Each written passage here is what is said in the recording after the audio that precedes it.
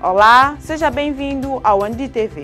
A semelhança do que fez com os embaixadores acreditados no país, Manuel Pinto da Costa, presidente da República e candidato à sua própria sucessão, partilhou com as representações das confissões religiosas o parecer quanto ao período eleitoral que o país ora vive falar sobre a atual situação que o país atravessa neste período eleitoral e partilhar com as confissões religiosas algumas preocupações sobre a atual situação política nacional foram alguns dos objetivos que nortearam este encontro entre o presidente da República e as confissões religiosas.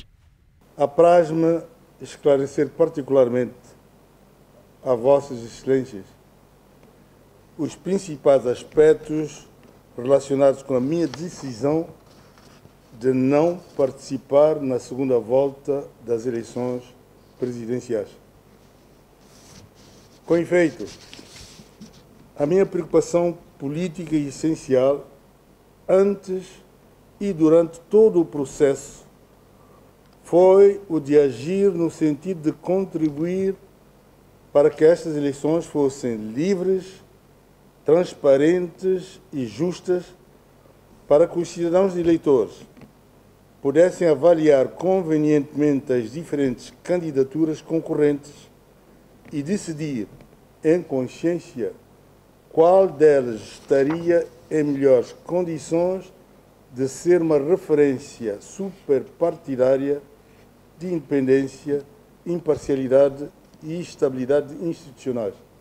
Para o presidente da República, Manuel Pinto da Costa, se as lacunas não forem sanadas, poderão intensificar as anomalias verificadas no dia 17 de julho. Volto a afirmar que a minha convicção é de que, sem a correção dos erros crassos registrados na primeira volta, o risco de se repetirem ou mesmo intensificarem é enorme persistem erros graves. O presidente da Comissão Eleitoral diria, não diria graves, mas diria gravíssimos no funcionamento da comissão. É um facto tanto mais preocupante quanto não parece haver vontade política e institucional séria de os erradicar.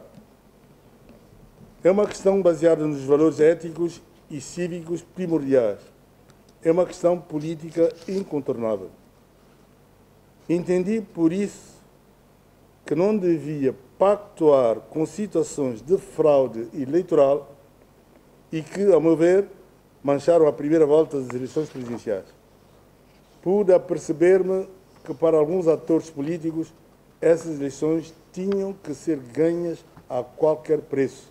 Para Manuel Pinto da Costa, é particularmente chocante e inaceitável o que ocorreu durante a primeira volta das eleições presidenciais, que ficaram ensombradas pela maneira como decorreram em muitos dos seus aspectos essenciais.